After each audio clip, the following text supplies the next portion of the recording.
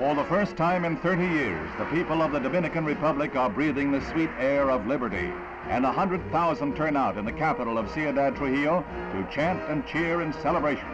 They pass through a week of event upon event. First, the son of slain dictator Rafael Trujillo fled the country. Then two of his uncles returned and tried to take over. The U.S. Navy stood by in Dominican waters, and the two Trujillo brothers returned to exile. Today, two of the opposition leaders are able to come back to their country, and the streets are jammed in celebration.